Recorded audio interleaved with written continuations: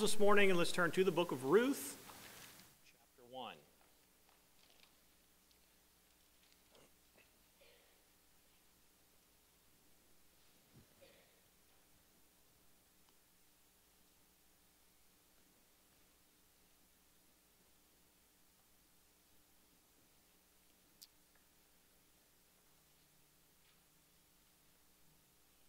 I'm going to readily acknowledge, maybe I shouldn't do this, that I think I'm biting off more than we can probably chew this morning um, in this sermon.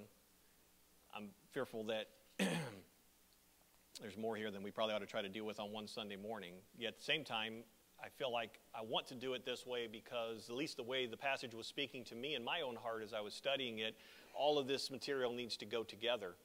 Uh, so I am going to attempt to do it that way. I trust the Lord will use it uh, in, in our lives that way. But it is a lot of material to be covered. So we're certainly not going to read all the verses uh, here at the beginning. We'll read them as we go through uh, the message this morning. Maybe before we begin, I'll just um, read uh, probably the most famous or most known section that will, will be a part of our text this morning, and that's Ruth's statement to Naomi as Naomi asks her to go ahead and return and go back to her, her home and her family, just as Orpah, her sister in law, has done. And we find Ruth's great, I think we could call it a great statement of faith.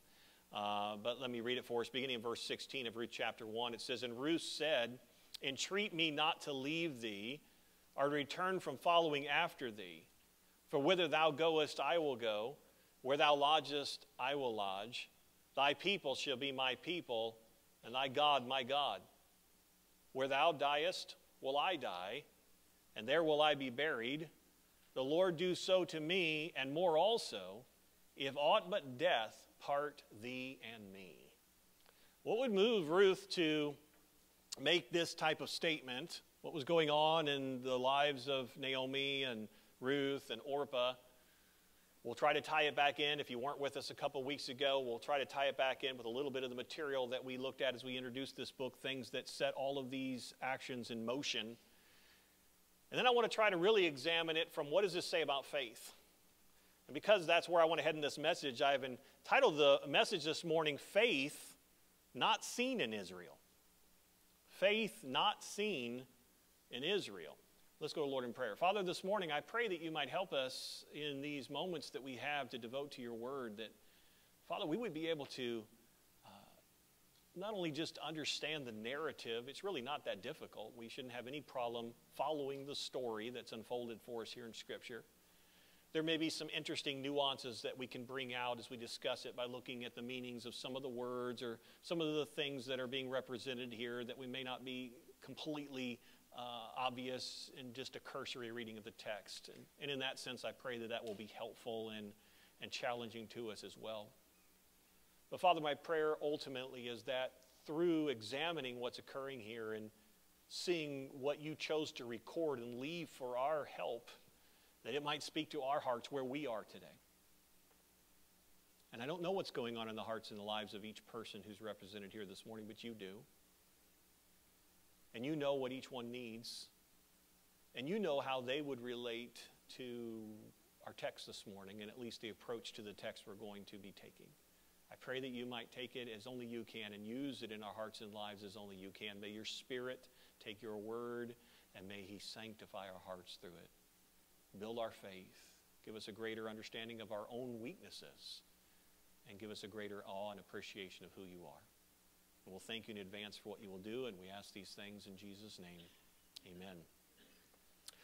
As we begin our message this morning here in the book of Ruth in the Old Testament, I want to take just a couple moments and I want to go to the New Testament and I want to read two uh, occurrences that happened in the life and ministry of Jesus Christ. And I want to bring those thoughts to us. Most, both of these accounts I think will be familiar to most, most of us.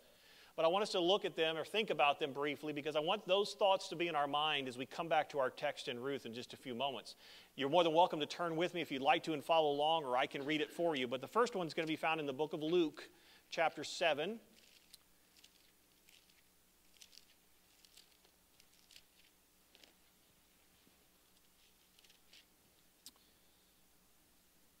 And as Jesus' ongoing earthly ministry continues, we find Luke recording this event.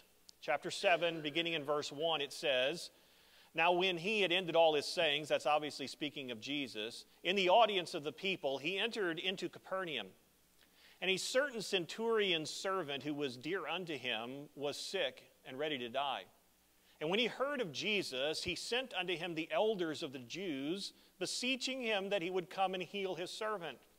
And when they came to Jesus, they besought him instantly, saying that he was worthy for whom he should do this. For he loveth our nation and he hath built us a synagogue. Then Jesus went with them, and when he was now not far from the house, the centurion sent friends to him, saying unto him, Lord, trouble not thyself, for I am not worthy that thou shouldest enter under my roof. Wherefore, neither thought I myself worthy to come unto thee, but say in a word, and my servant shall be healed. For I also am a man set under authority, having under me soldiers, and I say unto one, Go, and he goeth I say to another, Come, and he cometh, and to my servant, Do this, and he doeth it. When Jesus heard these things, he marveled at him and turned him about and said unto the people that followed him, I say unto you, I have not found so great faith, no, not in Israel. And they that were sent, returning to the house, found the servant whole that had been sick. Most of us are familiar with this encounter. We have this Roman centurion he hears, obviously, that Jesus is going to be nearby. He has a servant that uh, he cares very much for who is sick and is nigh unto death. And because he obviously has heard of the miracles that Jesus has worked, because obviously he has at least a measure of faith that he believes that if Jesus was willing, he could do something for his servant, he sends elders of Israel. He's not an Israelite, but he sends elders of Israel to Jesus asking him, Would you please come and heal my servant?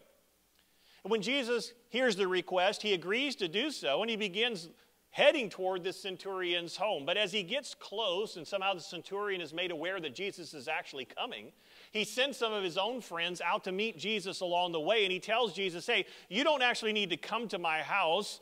You can just speak the words from where you are, and if it's your will, my servant will be made whole we understand from the text because the centurion tells us the reason he didn't really think Jesus should come to his house is because he felt unworthy. He didn't feel worthy as a Gentile to have probably not only a Jew, but certainly a Jew of the magnitude of Jesus to come into his house. Yet, nonetheless, because of what he believed to be true concerning Jesus, he requests for this healing to be done. And when Jesus hears of this, and the man's response to what Jesus is about to do, his statement is, I've not found so great faith. No, not in Israel. I want us to look at one other passage, and we'll look back at the Gospel of Matthew, chapter 15. Again, another familiar passage to us, one that we looked at not too awful long ago when we were actually studying through the Gospel of Matthew. But in Matthew chapter 15, we have another encounter with Jesus. In verse 21, it begins. It says, Then Jesus went thence and departed into the coast of Tyre and Sidon. And behold, a woman of Canaan came out of the same coasts and cried unto him, saying, Have mercy on me, O Lord, thou son of David. My daughter is grievously vexed with a devil. But he, he, speaking of Jesus, answered her not a word. And his disciples came and besought him, saying, Send her away, for she crieth after us. But he, Jesus, answered and said, I am not sent unto the law, I am, I am not sent but unto the lost sheep of the house of Israel. Then came she and worshipped him, saying, Lord, help me. But he answered and said, It's not meet to take the children's bread and to cast it to dogs. And she said, Truth, Lord, yet the dogs eat of the crumbs which fall from the master's table. Then Jesus answered and said unto her, O woman, great is thy faith. Be it unto thee even as thou wilt and her daughter was made whole from that very hour. Here we have another Gentile, a Canaanite woman. She has a demon possessed daughter.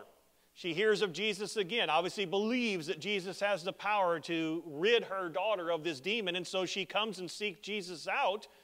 However, Jesus acts as if this woman doesn't even exist. She's there begging him to come and do this, and he just ignores her. He won't even answer her, her requests. She obviously won't take the rebuff from Jesus simply and walk away. So she keeps pestering his disciples, obviously trying to get them to force Jesus to do something for her. And they come to Jesus saying, What are we going to do with this woman? Would you please send her away? She's driving us crazy. But Jesus tells his disciples, I don't have anything to do with this woman. I'm not here for the Gentiles. I've been sent into this world to take care of the lost sheep of the house of Israel. Obviously, hearing this with her own ears, this woman comes to Jesus, falls down at his feet, and begins worshiping him and begging Jesus to help her. But even with this, Jesus sternly replies to this woman, It is not meet to take the children's bread. In other words, the bread that belongs to the Jews themselves. It's not meet for me to take this Jewish bread and cast it to dogs. Oh my goodness.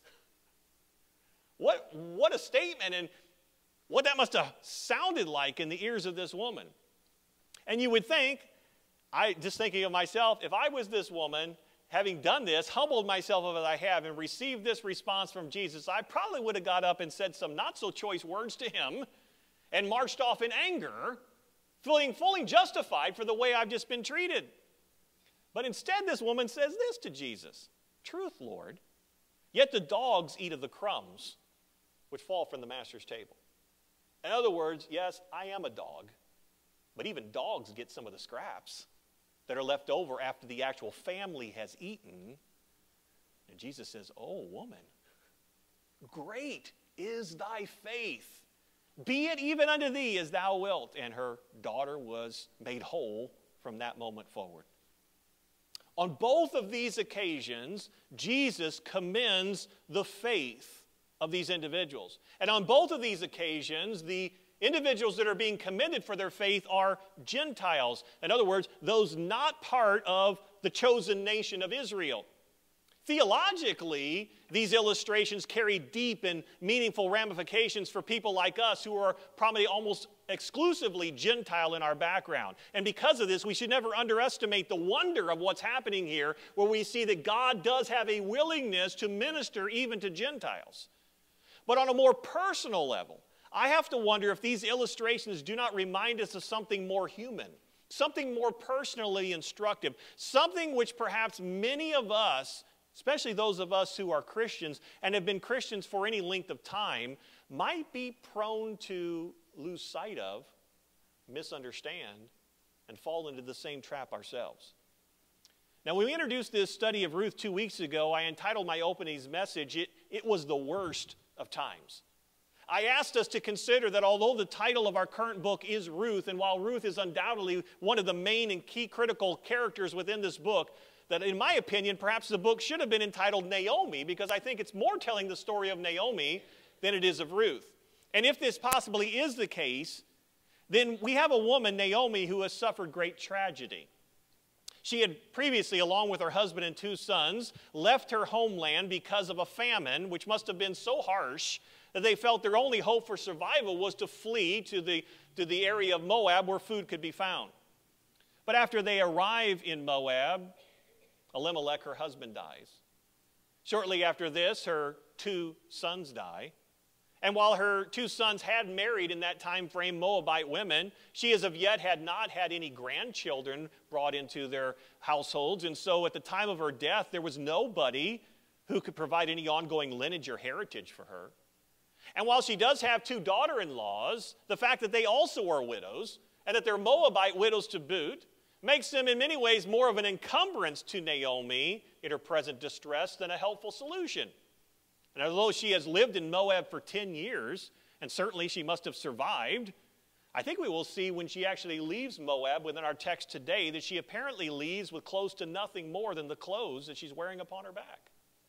So I don't know that she had much in the area of money, finances, possessions, or any of these things that we tend to think are so important in our lives.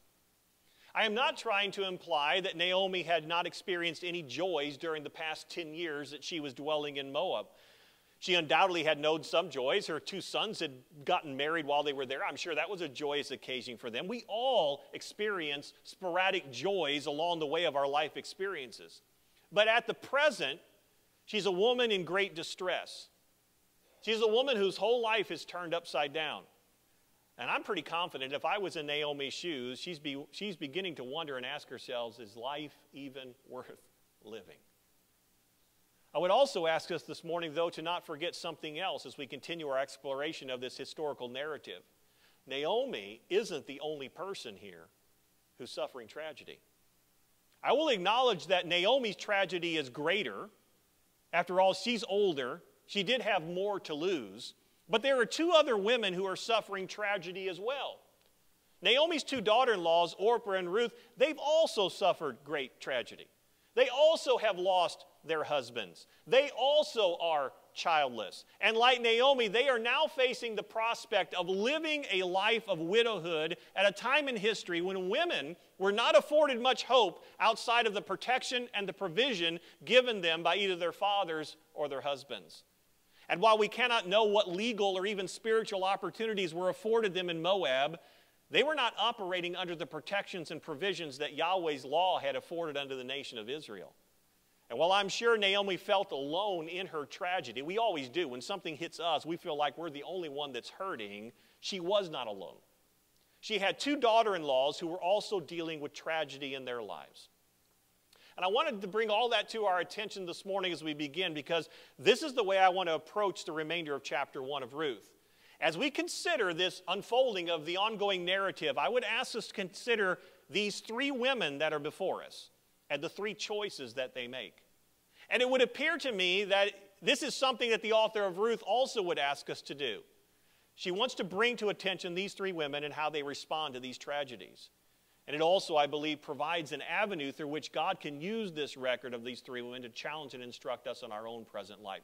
We're just going to go through the text. I think I've got like nine or ten points breaking it down here. We'll move as speedily as we can. I'm not going to uh, belabor any of the points because, for time's sake. But let's just move forward. I'll begin with what I would call the journey home in verses 6 and 7. We read this of Ruth chapter 1. Then she arose, speaking of Naomi, with her daughters in law, that she might return from the country of Moab, for she had heard in the country of Moab how, how that the Lord had visited his people in giving them bread. Wherefore she went forth out of the place where she was, and her two daughters in law with her, and they went on the way to return unto the land of Judah. We're not told how, but in some form or fashion, word reaches Naomi back in Moab and informs her that the famine finally has lifted in Bethlehem, Judah, and bread is now to be found there again. This is stated in our text as being the result of the fact that the Lord visited his people, giving them bread. Now, if you were with us two weeks ago, you know that I went out of my way in the message not to assign motives to the choices that Elimelech and Naomi made. I don't want to uh, you know, have any kind of motives assigned to them because the text itself did not assign any motives. But you can almost sense the irony that the author puts forth when he makes this statement. The Lord visited his people and he gave them bread. Now, I don't think that the author is seeking to imply that Naomi is not one of God's people. But I do think we can say this Naomi is not presently in a place to receive God's gift of bread to his people because she's not in Israel, she's in Moab. Her presence in Moab might have been in response to the fact that God had allowed famine to come to Bethlehem, Judah. But her presence in Moab was depriving her now of the opportunity to experience the provision of God in Israel when he once again chooses to bring bread unto his people. I would just challenge us, even in that thought, to re- remind ourselves when we consider taking matters into our own hands when faced with difficulties in our lives, if we make decisions solely based upon our human understanding and reasoning, we may make decisions which appear logical at the outset, and that may even bring us a modicum of temporal success. But they also may place us in a position where we are not able to experience the blessing and the provision of God when it comes. Upon hearing that there was once again bread to be had in Bethlehem, Naomi makes the decision that she is going to return home, and her daughter in laws begin the journey with her. Again, the simplicity of our narrative would lead us to believe that these three women basically have nothing but what they can wear and carry on their, in their hands. We read nothing in the narrative of servants. We hear nothing of luggage. We don't even hear the fact that they're a part of some greater caravan of returning Israelites.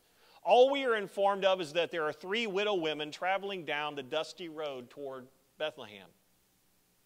As this unfolds, we go on with what I'd call my second point Naomi's counsel to her daughter in laws, and we read that in verses 8 and 9. It says, And Naomi said unto her two daughters in law, Go, return each to her mother's house.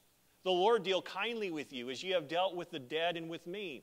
The Lord grant you that you may find rest, each of you, in the house of her husband Then she kissed them, and they lifted up their voice and wept. Now, it would seem logical that Naomi planned to send her daughter in laws back all the while, but she apparently waited until they were down the road a distance before she implores them to go home. Many commentators say she, she wanted to wait to have this encounter out on the road. Maybe if she had brought this up before she left, there might be fear that they could have talked her into staying in Moab or whatever. Who knows? It's all supposition.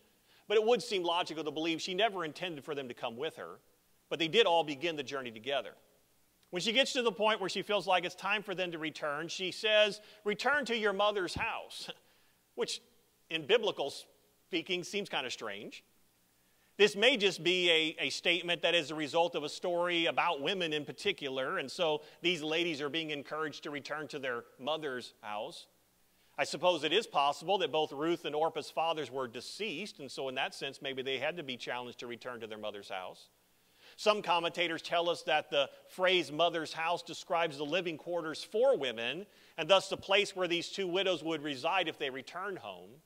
But probably we should see nothing more in this phrase than this a challenge for these two ladies to return to their original homes. She wishes, as she sends them away, God's kindness. It's the Hebrew word hesed. We've spoken about it many times. It occurs often in the Old Testament scriptures. And she wishes God's kindness to be upon them as they head home. Hesed is a Hebrew word which often speaks of God's covenant faithfulness to his people. Sometimes it's translated his mercy, sometimes it's translated his loving kindness. Naomi is giving her daughter in laws a blessing, so to speak, when she asks them to leave. And she's asking that as they head home to their mother's house, that they might find God's, her God's, Hesed, his loving kindness upon their return. But then she says this I want you to receive this because you've actually shown, speaking of the two girls, they'd shown Hesed toward Naomi and toward the deaths of their husband. In other words, she says, I hope God will bless you with his loving kindness because you've been very loving kind to me. And so, and to her husbands, their husbands who are now dead. Naomi expresses a desire that they each find another husband back in Moab, that they would each be able to experience joy and blessing in the days ahead. And after she gives them this challenge, she kisses them goodbye, and we are told that all three of them lift up their voices and they weep. Upon this instruction, we see the desire or the request that the girls give in response back to Naomi in verse 10. It says, And they said unto her, Surely we will return with thee unto thy people. You know, both Orpah and Ruth here express a desire to remain with Naomi rather than returning home. I don't know. Uh, when I read the Bible, I, I, guess you're like me. Maybe you're not. I don't know. Don't pretend to know. I'm, I'm always curious. It's like, well, why? Why would they say that? Why would they say, we'll go with you? Was their previous home life so poor that neither wished to return? Was their love for Naomi so great that they could not bear to leave her? Did they believe in their hearts that the best hope they had for a future actually was lying in Israel rather than back in the land of Moab where they'd grown up and known all of their lives? Again, the narrative itself does not inform us, at least not yet, it could really be any of the three that were the reasons why they said this, or any combination of the three. But regardless, these two ladies say to Naomi, No, we don't want to go back to Moab. We don't want to go back to our families. We don't want to go back to our mother's house. We want to stay with you. Naomi rebuffs this request, though, in verses 11 through 13. Let's read on. It says, And Naomi said, Turn again, my daughters. Why will you go with me? Are there yet any more sons in my womb, that they may be your husbands? Turn again, my daughters, go your way, for I am too old to have an husband. If I should say I have hope, if I should have an husband also tonight, and should also bear sons, would you tarry for them till they were grown? Would you stay for them from having husbands? My daughters, for it grieveth me much for your sakes that the hand of the Lord is gone out against me when they give this response, this request, let us stay with you. Naomi is quick to inform these ladies that there is absolutely nothing good, in her estimation, that could possibly happen if they chose to stay with her. First, she tells them this I'm past childbearing age. There are no more sons in my womb. There is no possibility that I am ever going to give birth to another son that, you could, that could grow up and you could marry. Secondly, she says this even if there were, Let's just hypothetically think about this. What if I could give birth to sons this very night? Are you going to wait, she asked the girls, until these men grow up into manhood that you might marry them? But thirdly, and most importantly, she wants them to understand something about their mother in law. Naomi is saying this about her. She is convinced, she says, the hand of the Lord is gone out against me. In other words, and we'll talk more about this later in the message, Naomi is convinced in her own heart and mind that everything that has happened unto her is the result of God's hand being against her. All of these things are happening, Naomi is convinced, because we can say it this way God's punishing her. Therefore, she's asking these two girls, Why would you want to come with me? Why would you want to follow me? God's punishing me. God's hand is against me. Why would you want to continue to spend time with me, a woman under the curse of her own God? In verse, first part of verse 14, we see Orpah listening and obeying. It says, And they lifted up their voice and wept again, and Orpah kissed her mother in law. Orpah listens to reason. Orpah returns to her home. Again, our author is unwilling to pass judgment upon Orpah's decision. She has obeyed her mother in law's wishes. She has decided to do what seems humanly prudent. She has chosen to remain where she is in Moab and remain what she is a Moabite. Iain Duguid, in his commentary, makes this statement With that simple, sensible choice, she marched off out of the pages of the Bible. She went back to her people, back to her gods. Yet, though she certainly didn't see it that way, there was nonetheless a cost to her logical choice. Who now remembers Orpah? She rejected the road to emptiness, but at the same time unknowingly turned aside from the one road that could have led her to a life of lasting significance and meaning. The world's wise choice to avoid emptiness leads in the end to a different kind of oblivion. Friends, the narrative casts no aspersions upon Orpah's choice. It simply regards her as insignificant of any future mention. I would just say this every decision we ever make has consequences. And Orpah's decision had consequences as well. Did it turn out good? Did it turn out bad? We'll never know because God didn't deem her life having any significance of recording in the Word from this point forward. While Orpah turns and goes back, we now find Ruth's resolve. Orpah kissed her mother in law, verse 14, but Ruth clave unto her. And she said, Behold, thy sister in law is gone back unto her people and unto her gods. Return thou after thy sister in law. And Ruth said, Entreat me not to leave thee, or to return from following after thee. For whither thou goest, I will go, and where thou lodgest, I will lodge. Thy people shall be my people, and thy God my God. Where thou diest will I die, and there will I be buried. The Lord do so to me, and more also, if aught but death part thee and me. The narrative reminds us and informs us that Ruth cleaves or clave unto Naomi. It's the same Hebrew word that is used to describe God's intention in marriage. He instructed Adam back in Genesis chapter 2, verse 24 Therefore shall a man leave his father and his mother, and they shall, he shall cleave unto his wife, and they shall be one flesh. That Hebrew word translated cleave or clave here literally means to be glued together. Ruth clave unto Naomi and would not under any circumstance be willing to leave her. She gives her great statement of resolve that many of us know so well. Whither you go, I will go. And where you lodge, I will lodge. Thy people, they're going to be my people. Thy God, he's going to be my God. Where you die, and really, when we think of Naomi's life, that may be something Ruth assumed would happen very soon.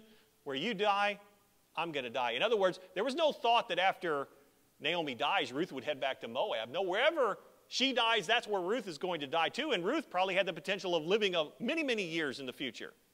And she says, I'm going to be buried right there where you're buried. And the Lord do so to me, and more also, if aught but death part thee and me. How can Ruth make such a statement? How does she know? How does she even know in her mind that she's going to be allowed to lodge in Bethlehem once she gets there? She's not an Israelite citizen, she's a Moabite. How does she know that the Israelites will ever welcome her into their community? How does she know that even if she is allowed to stay for Naomi's sake, that she will be allowed to and, remain and be buried there after Naomi has long since passed off the scene? And she even is so uh, entrenched in her decision that she invokes a curse upon herself if she fails to uphold her covenant promises. But she doesn't invoke the curse in the name of Chemosh, the Moabite gods. No, she actually invokes the name of Israel's God, Yahweh, upon herself. The Lord do so to me, if anything but death separate us. Folks, this is a testimony of faith. It is a declaration of Ruth's faith in Naomi's God. And we'll say more about that in a moment, but how different is Ruth's faith than Naomi's? How different is Ruth's concept concerning Yahweh and Naomi's concept concerning Yahweh? We see Naomi's silence in verse 18. It says, When she saw that she was steadfastly minded to go with her, then she left speaking unto her. We're not informed whether Naomi agreed with Ruth's resolve or not, but wouldn't we expect to read some affirmation or testimony of gratitude on Naomi's part? Even maybe if she thought it was foolish, wouldn't the Bible record that there was some sort of a hug or a kiss that happens here? Wouldn't there be some testimony of their now continuing on their journey together? Wouldn't there be some uttering of a word of thankfulness or gratitude or maybe even amazement by Naomi of Ruth's complete devotion that she showed to her? But instead, the author is silent. There is nothing said here whatsoever except this cold, matter of fact statement that Naomi spoke no more to Ruth. So for the next 50 or so miles on their journey, nothing was said by either of them. But why would this be Naomi's attitude? Perhaps these final verses give us a clue.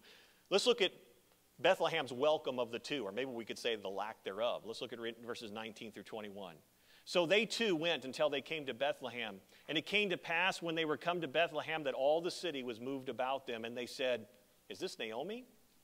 And she said unto them, Call me not Naomi, call me Mara, for the Almighty hath dealt very bitterly with me. I went out full, and the Lord hath brought me home again empty.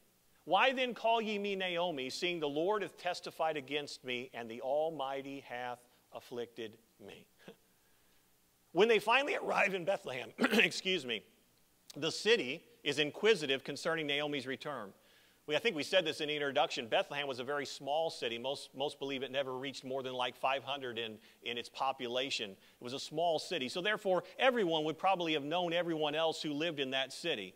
And yet, our text makes us wonder whether these people really recognize Naomi or not. Their question, is this Naomi, could possibly mean them saying, Is this actually Naomi who has returned? Someone we thought who had left and was gone for good. She's been away 10 years. We never expect her to return. So that may be the way they're saying, Is this Naomi? Really? The one who left? She's back? Or it could also mean that Naomi had aged so much that Naomi looked so different than the woman that left 10 years ago from Bethlehem that nobody could recognize her anymore. That may be what they're saying. Is this really Naomi? Regardless of the meaning of their question, it was Naomi who had returned, and Naomi is quick to set the matter straight. They're giving her some sort of a welcome. Naomi says this Don't call me Naomi. Remember when we introduced the letter, we said Naomi means pleasant or lovely. She says, Do not call me pleasant. Do not call me lovely. Rather, call me Mara. The word Mara means bitterness. She says, For the Almighty, El Shaddai, hath dealt very bitterly with me. She says, I went out full, and the Lord hath brought me home again empty. Why then call ye me Naomi, seeing the Lord hath testified against me, and the Almighty hath afflicted me? It's kind of interesting that Naomi uses the word, the Hebrew word that's translated full here, and it's a, it's a word that related specifically to a woman's offspring. In other words, regardless of the famine, this is what apparently Naomi was saying to them. The fact that she had to leave during famine, Naomi didn't consider that to be anything bad at all, all right? She left, she says, I left full. Even though she maybe left because there was no food, she still considered herself full because she had a husband and she had two sons. Now she says, I'm returning empty. And while she's returning to a city now that has been blessed with bread because the Lord has provided bread for the city again, she says, I'm coming home empty because I don't have anything anymore. I've lost my husband. I've lost my sons. I've lost my life. You know, as a quick aside, though, when we think about this return, what about Ruth? Shouldn't the presence of Ruth be something that Naomi could point to as at least a glimmer of hope in the midst of her tragedy? Again, the way the author presents this letter to us, we would have to say no. At this point in her experience, Naomi doesn't look at Ruth as being a good thing. She doesn't even acknowledge Ruth's presence at all. She would, Ruth would appear to be seen by Naomi as part of her emptiness. In this very sen- real sense for Naomi, Ruth, though here, does not exist. And I would just point out for our consideration this morning as well notice that the author leads us to believe that Ruth doesn't exist for even the people in Bethlehem either. No one is asking the question, at least it's not recorded in the scriptures, who is this woman who's come home with Naomi? No one apparently says anything to Ruth at all. It's as if Ruth is there, but she doesn't exist. you have to wonder if you put yourself in Ruth's shoes, what is she thinking about her decision? I left Moab, I left my family, I left any hope I had behind to come with this woman to this city, to these people who worship this God, and I walk into the city and nobody acknowledges I exist. Naomi won't talk to me. I'm here, but she says she's still empty. None of the people that came to welcome Naomi even acknowledge I exist or will mention my name or say that I'm here and inquire, Who am I? I wonder if she's having second thoughts. I wonder if she's wondering in the back of her mind, What have I done? Was this really a good choice to make? And remember the curse that she brought down upon herself if she returned. There's no return. She's stuck with what the decision she's made. But I'm beginning to wonder if she's having second thoughts. You ever get there? Do you make this, this pointed decision based upon what you are confident in your heart is right to do? And then things don't start turning out the way you anticipated? And you begin to wonder, uh oh, maybe I misread it. maybe I didn't understand. Maybe that wasn't such a good choice after all. You know what is interesting about these final verses is the way Naomi speaks about God. She basically says this God is to blame. Naomi lays everything that has occurred in her life directly at the feet of God. She says, It's the Almighty. It's El Shaddai that has dealt bitterly with me. She says, It's the Lord, it's Yahweh, which has brought me home empty handed. She says, It's the Lord, it's Yahweh who has testified against me. That testified is a legal term indicating that God has found her guilty and that God has pronounced judgment upon her. And she says, It is, again, the Almighty El Shaddai that has afflicted me. It is God that has brought this tragedy upon my life. Wow. Those are strong words, folks. You ever thought about what she's saying? But I think, I feel confident in the way the author presents it. This is exactly what Naomi believes. I guess we can at least say this Naomi does not see her God, Israel's God, as some cosmic weakling incapable of doing anything to stop the evil that is present in our world. Naomi sees God as the ultimate sovereign over everything that's happening in her life. Therefore, right or wrong, Naomi has no qualms claiming that it is ultimately God who has brought all of these tragedies to bear in her life. And by the way, I would just point this out the author feels no sense of urgency to seek to refute or rebuke Naomi's accusations. He simply lets them stand just as they are given. These are the true feelings of Naomi's heart. As we conclude what is our first chapter in the text we're looking at this morning in verse 22, we see hope, I think. Says, So Naomi returned, and Ruth the Moabitess, her daughter in law, with her, which returned out of the country of Moab, and they came to Bethlehem in the beginning of barley harvest. Bitter Naomi and unacknowledged Ruth have now returned to Bethlehem. And we are told that they arrived just in time for the beginning of the barley harvest. If this is the first time we had ever read this little book of Ruth, we would not even give that last statement a moment of our time's consideration. But most of us already know that this concluding phrase is actually a reference to the fact that God is not yet finished with Naomi. Yes, it will be Ruth who dominates the next two chapters of our study, and rightfully so, but really only as she fits within the greater narrative of God's dealings with Naomi. So here's the question we all are forced to ask as we're reading the book of Ruth how will God deal with Naomi? Especially a woman who's just said what she said about God. Will he continue to deal bitterly with her? Will he continue to leave her bereft of anything which holds meaning? Will he continue to testify against her? Will he continue to afflict her? And since this is the book entitled Ruth, let's ask this question about Ruth Will she remain unknown, unrecognized, an outcast? Will she ever be accepted by Naomi or by the city? Will God acknowledge her commitment to Naomi? Will God honor her commitment to him? Most of us already know the outcome, but our sermon series is going to force us to have to wait to gain those answers. But I think this morning there's a more pertinent question that we can ask, and that is this Why does Ruth have such strong faith, and Naomi apparently lacks any faith? Why is Ruth, a Moabite outsider, willing to stake all of her hopes in Yahweh's, the Yahweh of Israel, while Naomi, an actual child of the covenant, believes that she has no future whatsoever? Have you ever asked yourself those questions? Have you ever asked the text those questions? I started this sermon by reminding us of two Gentiles who exhibited great faith in Jesus during his earthly ministry. And in both of those cases, the Bible informs us that they both understood they deserved nothing from God. Yet, by faith, they believed that God was just and good and merciful, and therefore they displayed unwavering faith in Him. I kind of want to believe that Ruth is this same type of person. I think she's a young woman who knows she deserves nothing from God, but yet who believes that God is just, that He is good, and He is therefore willing to stake her destiny upon this goodness of God and trust Him going forward.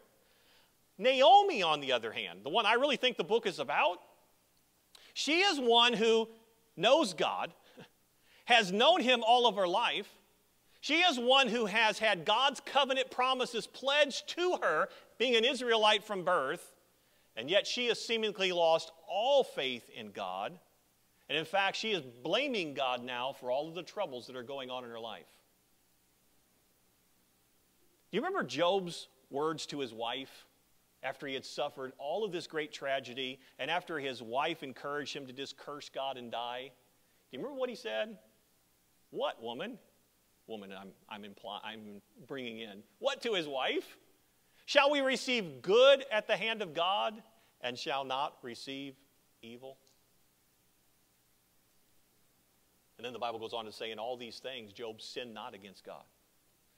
What was Job reminding his wife? Have you forgotten all the good things God's done for us? And then he asked him this, asked her this.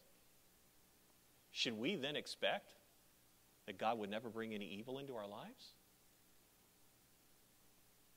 Here's a question for us to consider in light of our text this morning Does God's character change based upon your circumstances? Does God's character change based upon your circumstances? Here's a question Is God good one day and evil the next? Was God good when Naomi left Bethlehem full? And is now God evil as she returns to Bethlehem empty? What about Ruth? Was God an evil God when he caused Ruth to be born in heathen Moab in the place of people who worshiped false gods? But has he now become a good God since he has allowed her to come to Bethlehem to serve her mother in law and to follow him? We know the answer, but we still struggle with it in the reality of our existence. God has not changed, He is always God. What changes is not God, what changes is our eyes of faith. That's what's prone to change. Perhaps, I can't say for sure, but the text would certainly lead me to believe, perhaps Naomi had come to believe that since she was one of God's children, she should only receive good things from his hand. And the fact that now God has brought tragedy into her life, she believes God is now bad. And perhaps it was this misperception concerning God which caused her to become angry and to become bitter at God when the things of her life did not turn out the way she anticipated. And perhaps Ruth, on the other hand, because as a Moabite, she had expected nothing good from God's hand ever. She had no expectation that God would ever do anything nice for her. And she believed herself not worthy of receiving any of the goodness from God's hand. Still, because of what she had learned perhaps from Elimelech and Naomi, maybe from her husband who was a Jew, maybe from what she had heard other Jews talk about, maybe from what she had just perceived, maybe because of what God in His grace was doing in her heart and things that were unseen, that are unspoken about here in the text. She was still willing to follow hard after God and to believe in God because she had come to believe that this God was a God of incredible grace. And therefore, in spite of the fact she's lost her husband, she has no hope for a future in herself. Everything looks bleak and dark, and everything is turned against her. She still believes this you know what? God has the power to save me, to keep me, to hold me.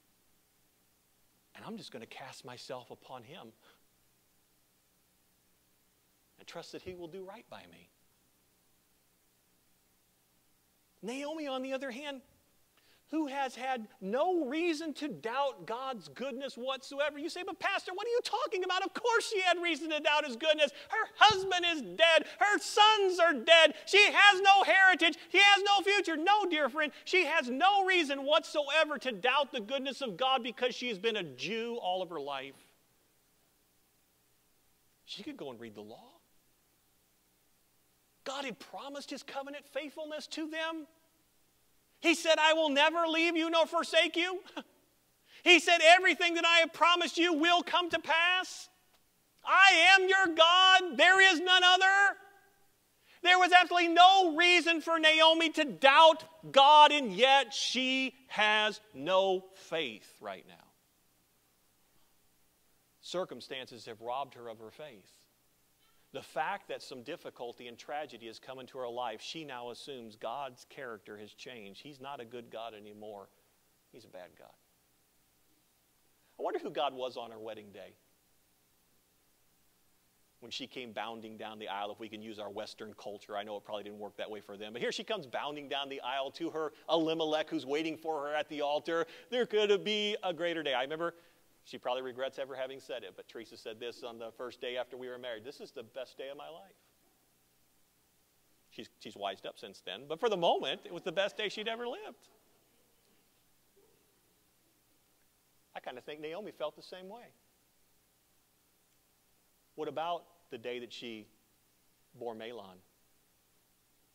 And then the day that she bore Chilion? Do you not think, as a good Jew, Naomi praised God and said, Oh, God, you've given me life. You've given me sons. You've given me a future. And even though they were forced to go to Moab, do we doubt that on the wedding day when one of the sons married Orpah and one of the days when the son married Ruth, that that wasn't an exciting and happy day? That everybody went home that night rejoicing and thankful for the good hand of God upon them and His grace to them. Hey, even we could probably say it this way we're in Moab, we've got food to eat, we're not starving. Our daughters are now, our sons are now married. There's a great future, there's a great hope. I have no doubt that there were many days in Naomi's life where she was so thankful she was a child of God and she blessed him and praised him for his goodness. Well, then what has changed?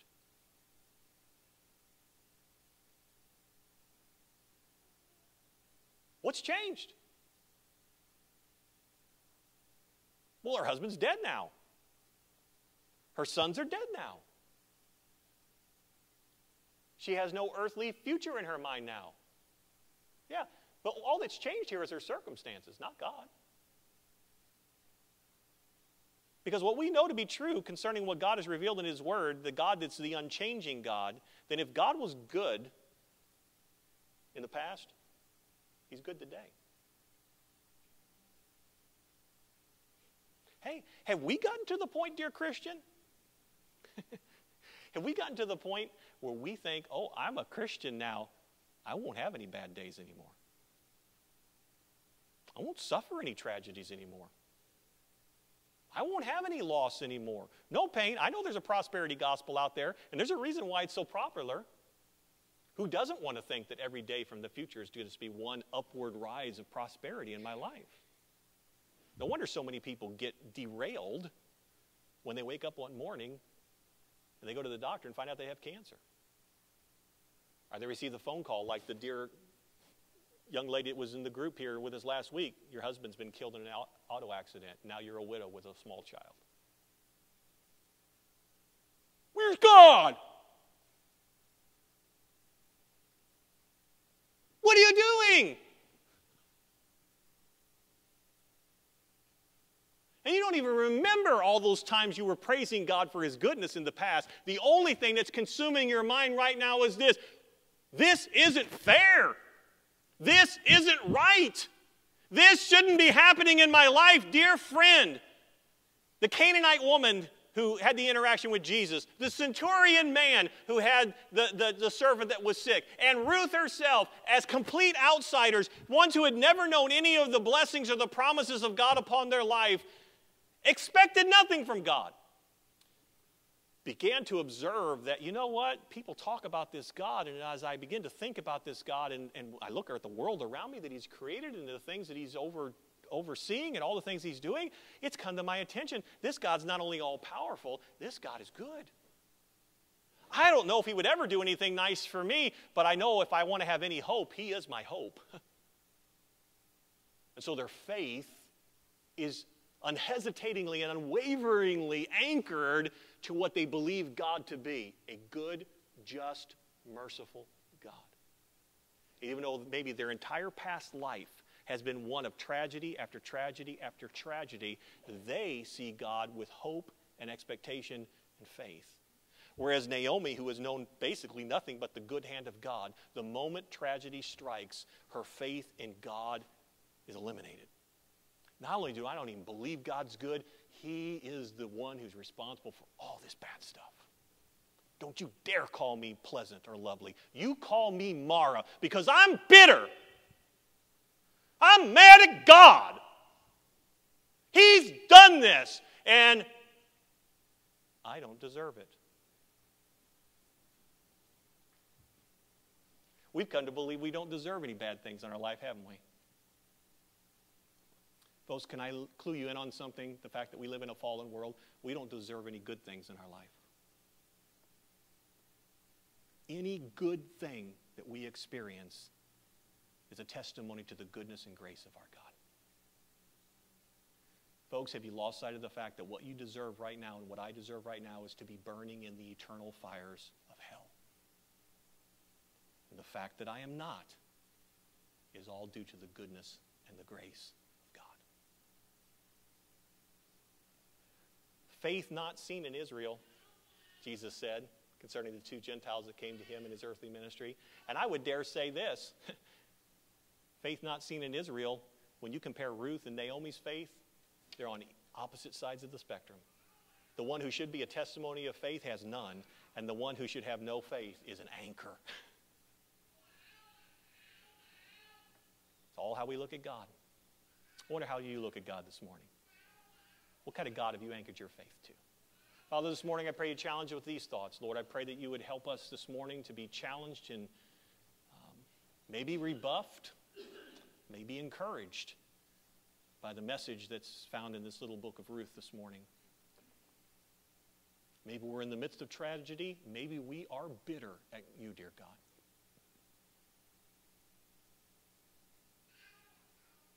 Would you show us the incredible sinfulness of that spirit?